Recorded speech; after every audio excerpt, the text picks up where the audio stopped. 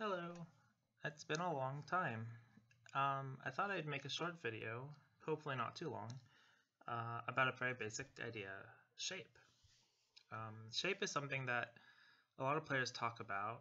Um, it's kind of an idea that's come from comes from Japan because if you look at the literature, uh, Go literature from Korea and China, they use slightly different words. Like Korean uh, use haengma, and I don't actually know what you say in Chinese, but they the ideas are a little different. I feel like the way it's translated from Japanese, especially as someone who learned Go in the West and whose main you know second language is Japanese, so I mostly read Japanese books.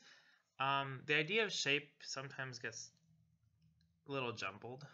Um, what I'm going to present here is a little bit about traditional shape but also like my own way of explaining uh, kind of the nuance of shape because I feel like in the West, uh, a lot of how we look at shape is like this is good shape, this is bad shape. Oh, that ended up being good shape, that ended up being bad shape. it's like okay, but as a new player, maybe that doesn't, you know, you're kind of like, why is this good shape, And why is it that looks really ugly to me, or that looks, you know, really great for me, and it's not either way and even as a strong player, um, if you're looking to improve, I know a lot of um, like you know one dan players maybe even up to like four dan really um, have struggle with making like shape in the center of the board because uh, they're not patterns that we know intuitively necessarily. Um, and they're also shapes that uh, they're always unique to the board right? So they're not things you can just learn by themselves anyway. So I'm going to kind of make a little distinction here between um, what is called, I want to term static shape and dynamic shape. So static shape is like the things you've probably seen many times, like this is the horse's head, um, this is the table shape, this is the sake bottle or uh, dog's face. You know, these are like shapes that you can just recognize, you know, bamboo joint. These are very common in the West.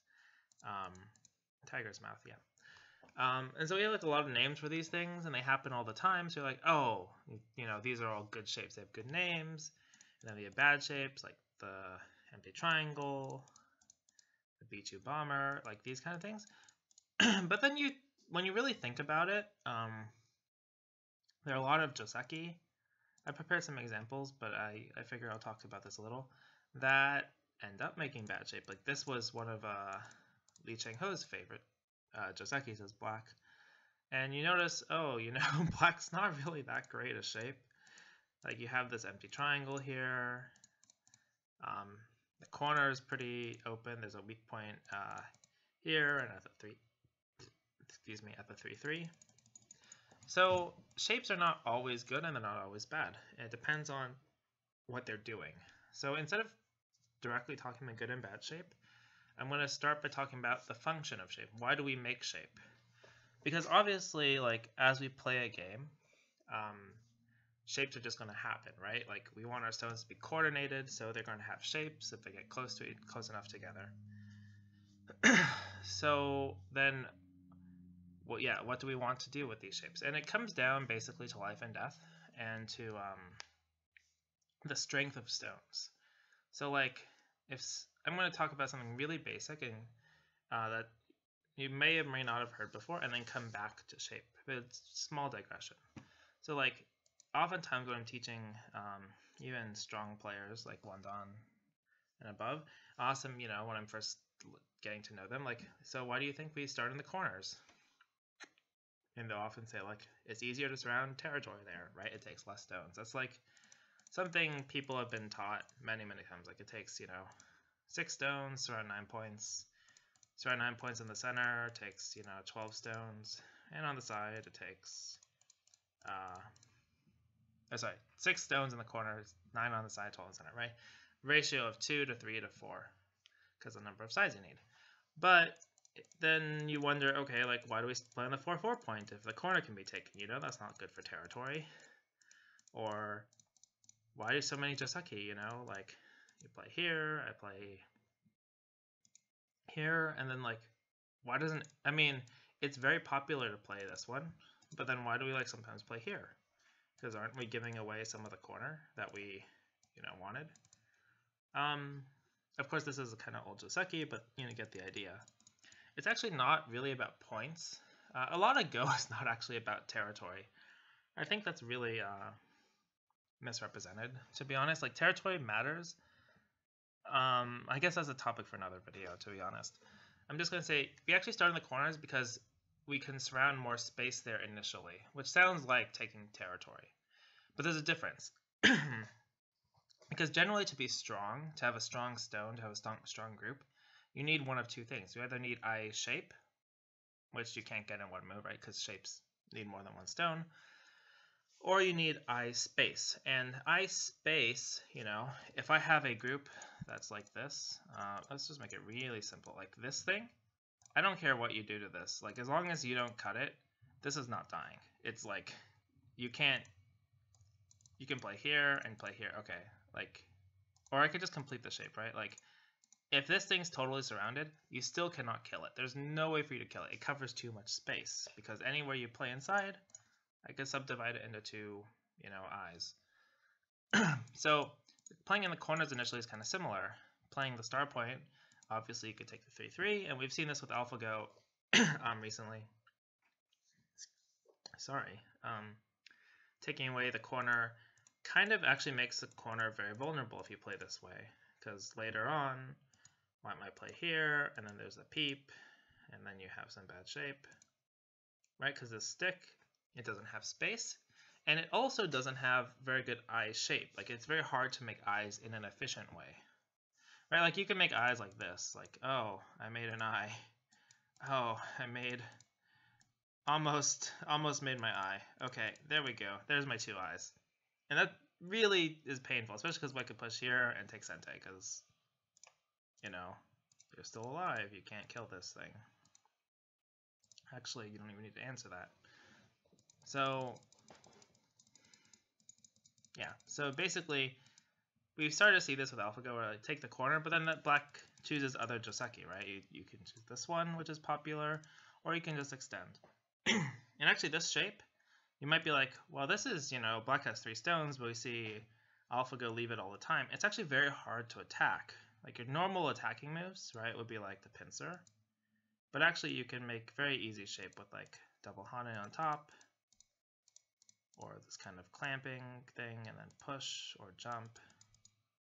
Like there's lots of ways to make shape or just pincer. Like there's lots of ways to make shape actually. It's kind of hard to attack sometimes. Mm, sorry about that. I had a lot of spam calls. So anyway, the point is we generally play in the corners to make strong groups. I hate, like I'm on a no call list, but I get a million calls from these people. It's really annoying. Anyway, um, sorry about that. So we, yeah, so the point is you generally, the point is to make shape, to, is to be strong, you need either eye space or eye shape. So there's kind of this contention between covering a lot of space and making your own shape if you either can't cover a lot of space or don't want to cover a lot of space to play somewhere else, right? So I'm going to talk a little bit because there's a little bit of a relation here. Um, between uh, let me let me give get to another example first. This one. So about a so this Joseki is very common. Um, it's becoming a little less common, but it's still pretty common. Uh, and you know, black is very strong in the corner, took lots of eye space and territory. And white also, with this extension, covers a lot of space. Uh, and so, like, this group's pretty strong, pretty alive. Though it has some weak points, it's, you know, not going to die.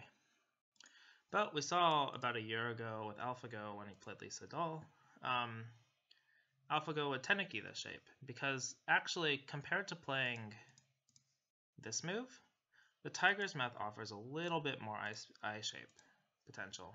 We also saw this move as a as just instinct. um, but so like in here, we often see like white could just jump, or white would make this peep and then jump. And it's actually quite um, robust shape. It's not super strong, but it's actually really hard to attack, and it's pretty difficult to like harass it further. So there's a trade-off here. White gets to cover another area of the board, with the Tenuki, but white still preserves a decent amount of eye shape. Um, specifically, this peep helps a lot. And I'll get to come back to why that's the case, why this peep matters a lot.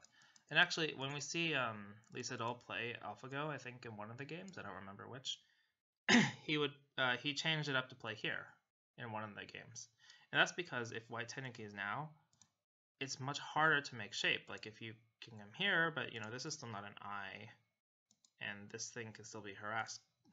It's like not super severe, but it only has one eye, and it's, you know, black's actually gaining quite a bit of profit.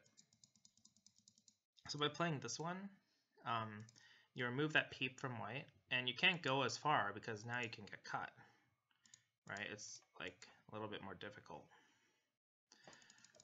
Um, so that's a kind of a key point to think about is the difference between shape and space. And there's actually a, um, the next example I'm going to show you builds on that. It the between shape and space, there's this idea of liberties. You know, very simple. You know, a stone has four liberties, has six liberties, eight liberties, right?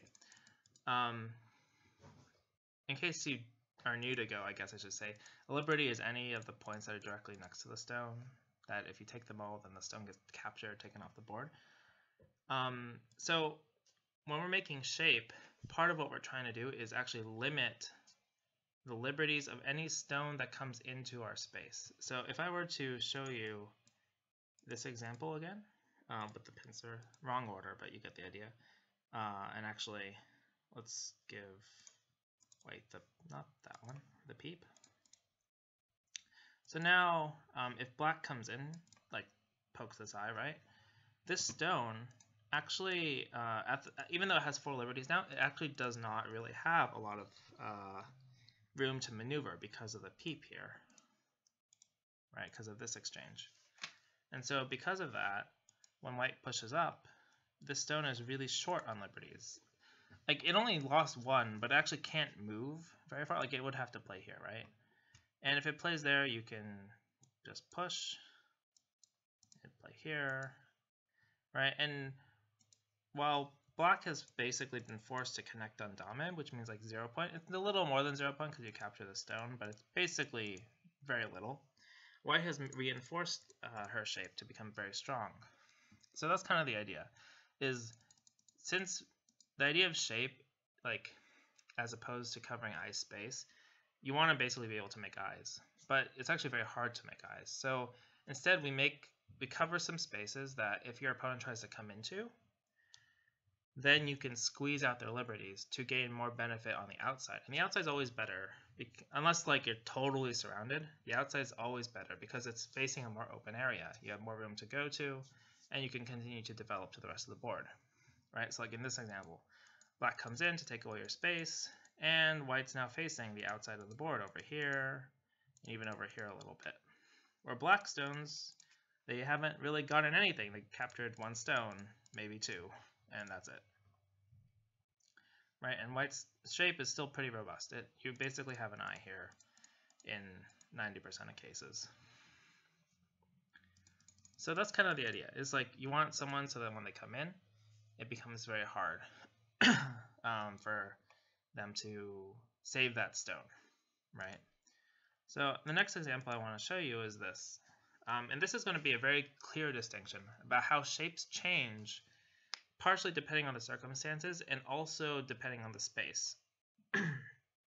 so if you ask any relatively strong player, probably even not a very strong player, um, there this shape has a vital point. Where's the vital point?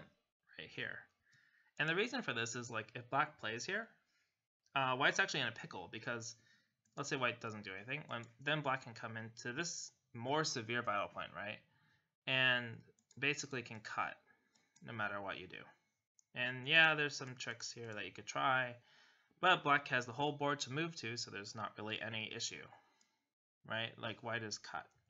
There's this cross cut, so white's two groups are split, and this situation is really bad for white. Um, yeah, so this is kind of the vital point of the shape. You might see some people they are like, oh, well, this is the real vital point. And it's true. This is the it's a double peep, which is very severe. But you can't really do anything with it it's very hard to do anything with it immediately. For instance, white can squeeze your liberties like this, right? You have you want to save these stones, but now you're making a dumpling, and on any other board there'd be a ladder here, or some other way to make shape, right? Double Hane maybe, like this actually is really difficult for black. Of course, you know, having a million stones on the outside is nice, but you can see like giving even giving up these stones, white would be able to like basically be alive. And considering the whole board is surrounded, that's pretty good. Um, and you get the idea. Black comes in too early and you can squeeze, right? That's pretty simple. So that's what usually for this shape the vital point is here. Um, so that your follow-up is this peep, right? You actually see this, I'm going to make a new board, but you actually see this shape quite a bit in this kind of thing. Um, I have to think about it for a second. So like you might have a shape like this. This is not the most accurate diagram, but this is also a vital point of this shape, this corner, because if black plays elsewhere, you can play here. Obviously, this would be over-concentrated if you're a stronger player, but uh, maybe some similar circumstance. You set up to play this forcing exchange and then peep. And if black blocks, you can just push and cut. And this bottom group is not alive yet and you have cut off this outside stones and almost Sente. It could be a Ko if black doesn't add this move. Um, you could attack it, or in this case, white strong on both sides, you could just leave it, surround it on a large scale. Yeah. Um, and yeah, obviously white black can connect here, but the result's similar, right? You have a probably you could kill this, but I'm just gonna make it live. Right, you could kill it by descending here. Uh, actually, that doesn't quite kill. It would depend a lot on the uh, surrounding on the left. but you get the idea. It sets up for the vital point. See, it's one space removed. Like you're setting up to split. Now, let's return to the other example for a second. The uh, This one. Oh, why does it have all the other stones there? Sorry, I didn't know it did that. Did that. So anyway, the vital point is to play here. And you can kind of see that now. It sets up to split white. So like, as white, you're not going to play here. This feels really terrible because black is still on a vital point, taking away the eye of this, you know, potential eye here. Um, so normally what you would do is like you would try to sacrifice. You would try to attach to limit black's liberty still. And maybe if black backs up, you can, uh, not there, bump to make a table shape and you can uh, see that you're starting to develop a little bit over here. Um, but at the same time, you know, black has other maneuvers, and it depends exactly how strong black is. Like, in this case, black could just cut, bump, and basically play anything because all the ladders work for black, so then you'd be in trouble. Um, I'm going to switch to another position, which should look... Oh, did I do this in the main? That's why. It's in the main branch, so then these things are all there. Okay. Sorry about that. So, if we go to this example, this is actually the same shape we just saw before with uh, this turning shape and the stone taking away its vital point. But actually, there's a big difference here. The first thing is obviously the board is not surrounded by black stones. The second thing is it's actually against the side of the board, which makes a big difference. For instance, if white just tries a cut here, right, we're going to cut black. This doesn't actually work out very well for white because black can, well, two options, easier. Let's just say it's very easy. Black can extend here, threatening a ladder, and then attach. And you notice that this is still taking advantage of white's liberties.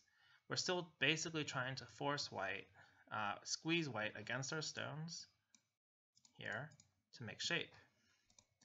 And so if you know this strategy, it's pretty easy. White can't really play anything. Like there's a really strong resistance here uh, that I won't go into, but it's basically the same. um, the strategy is obviously if white Hanes, you can cut. Now no matter what white does, uh, white is short on liberties, white can't connect. So you would capture. And similarly here, you can tarry this way and capture. If white connects, you just take. Um, there's not really any other variation. Like white can go here, but there's a ladder. Yeah, the strongest resistance is probably this one, but you can, this one will depend a little bit on the surrounding, but even if black descends, um, there's not really a great move for white. Like, you can play here, and I don't know where white goes next, to be honest. like, you could do this, and maybe white will kill your stones. You know, white will push all the way down. I'm not even reading it, but maybe white will push all the way down and kill this. Five, one, two, three, four, five, six, seven. So you're mostly dead. There's a little bit of room for stuff here, but let's let's just say it's dead. White took these stones, right? You forced white to take those stones by shorting the liberties. But you cut off the corner, and this is like an insane amount of free moves, right? like, this is an insane amount of moves here that you got for, you know, 10 points or 15 points. Um, so yeah, so you notice there's a really big difference here, mainly that in our other variation, uh, when white, you know, white can't descend here, right? In the other variation in the center, white could just run away forever to the side. But obviously this one doesn't work because white is again short on liberties.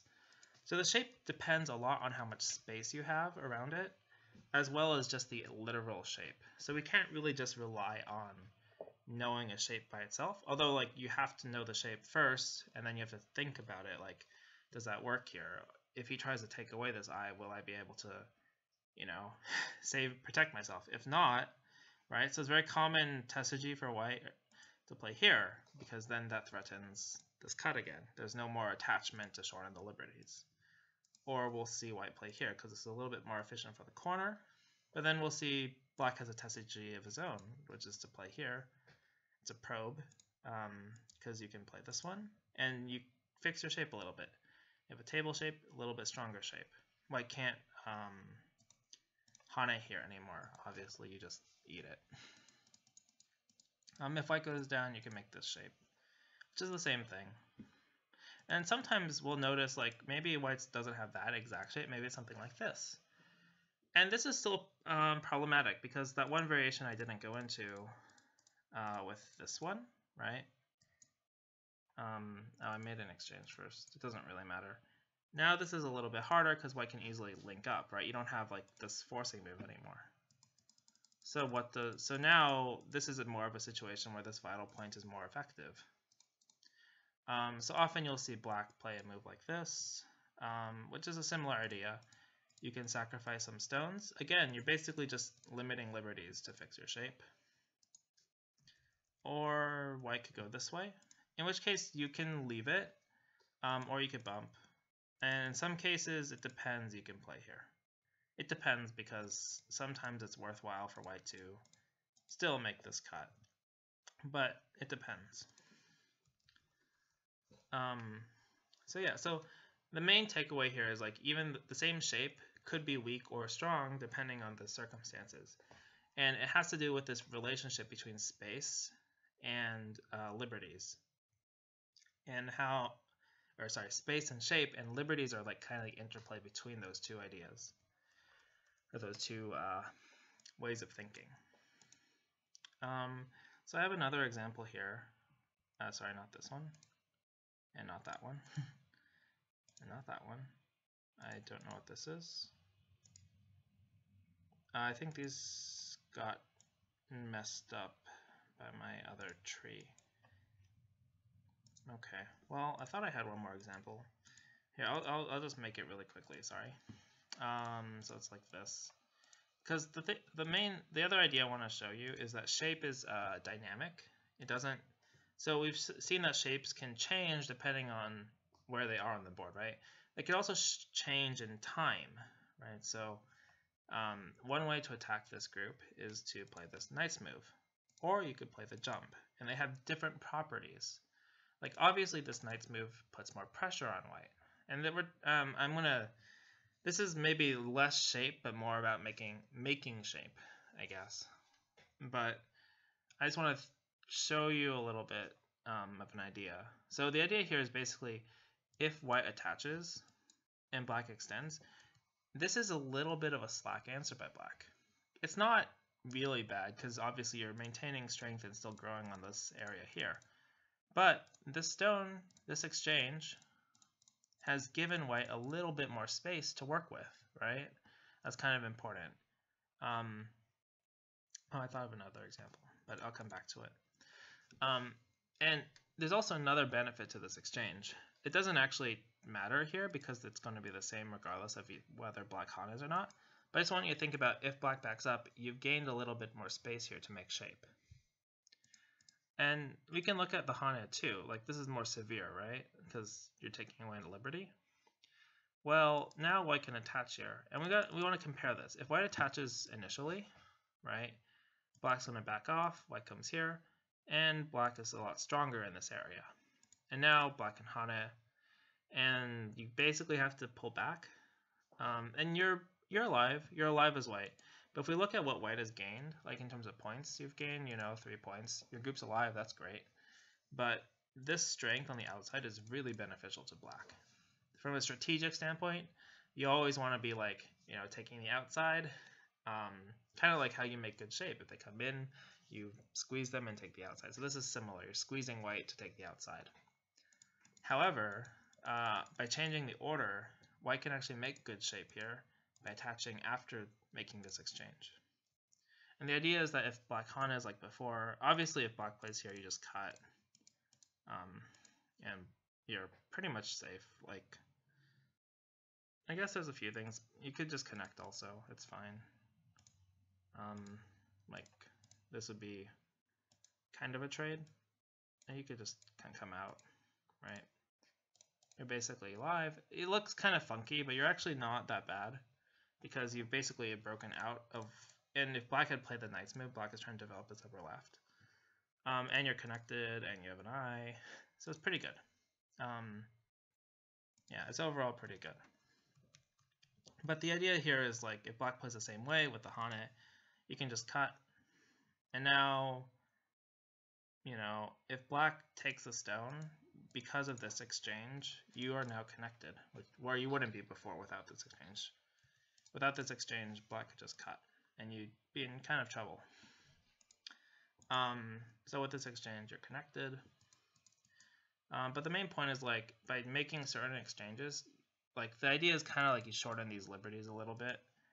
Not shorten, but you made an exchange that helps your liberty problems later. And maybe it's not really a liberty problem here, it's a connection, but you kind of get the idea. Um, the other example I was going to show, now that I remembered it a bit, and I can't find it in my tree because it got messed up, is uh, in the Kobayashi opening. So like we have this shape. Um, and you probably have seen this many times. So you've probably wondered, you know, in this shape, like if white plays here, what if black just cuts, right? What do you do as white? And obviously assume the ladder doesn't work for white because that'd be really good. Um, you can actually just play here. It's very similar idea. You're going to squeeze black to make good shape, right? It's the same kind of idea. White's coming into a space, black's coming into a space between white. Anytime that you're trying to take away that eye or cut something off, you have to reduce your own liberties. And so to make good shape, you abuse that fact in order to squeeze it and make good shape. Um, there's a lot of Joseki this comes up in, a lot of shapes. But I think that's kind of the main idea I wanted to get take away. wanted you to take away is like this dynamic between liberties, space, and shape, and kind of squeezing. And so I guess as a last point, um, many players, I'm not going to put up an example, but get confused in making shape in the center, or I guess I, I can put up an example. Um, when you're making shape in the center, I think that's a place where many people uh, don't know what to do. So maybe you have a shape like, you know, you have this knight's move. Oh, I like, oh, this is very easy. It's actually one of the examples that got erased. Um, like, for instance, this shape was in the AlphaGo game. Uh, one of the AlphaGo self-play games. Um, and white's next move is here. Right? And you might wonder, well, this is kind of a weird move because it doesn't clearly make an eye, right? Like if we were trying to make a sake shape. I'm sorry about that. A sake ball shape would be here. So this is um, kind of strange. But actually, and you might wonder what happens if black peeps. Well, there's kind of two things here. One is white. Anytime white wants, white can make this exchange, right? And then white can actually attach here. And black can push, like, you know, around quite a lot. But it would be, it's actually quite hard to completely kill this shape.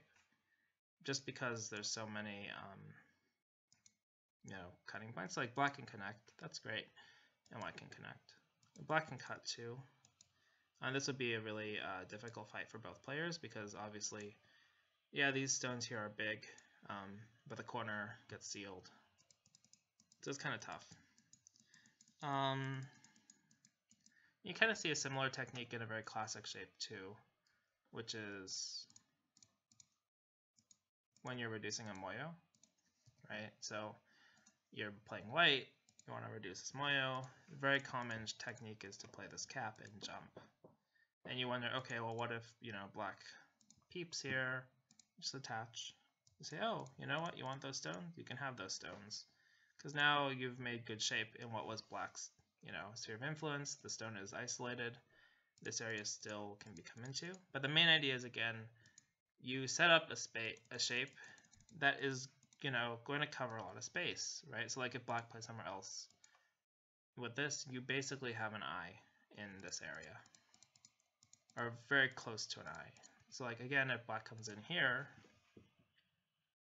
you actually don't need to do anything, but you could protect and turn, right? So like black wants to not lose the stone. If you connect, then it's pretty easy. you just make shape like this or like um, this. Right, it's, you get the idea. You don't need to cut it and kill it. You need to squeeze the liberties, force it to connect, and make shape by squeezing out the liberties. Uh, you can also, you know, there's lots of shape points here, so I didn't spend a lot of time reading or thinking about this, but, you know, that's kind of the idea. Um, black could peep directly, don't connect, right, because that's obviously bad for your shape. Um, black could actually just push you together, and now you have the stick. That's not good. So instead you would come on the outside. Black, you know, doesn't want to cut because you can get all these forcing moves that make good shape, right? Squeeze black, make more, move out to the open area, you know, over here. It's kind of the same thing over and over, so I think you get my point. And at this point, you actually don't need to connect because it's kind of small. It depends on what stage of the game it is, but you could just move out, you know, in any direction you want. Okay.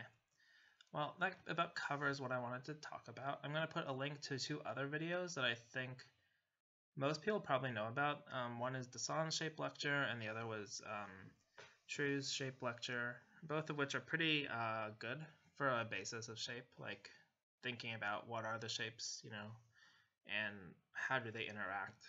Um, and I haven't heard anyone talk about this kind of liberty idea, but I thought maybe that would be uh, useful for people to know. Okay, thanks for watching, and see you all next time.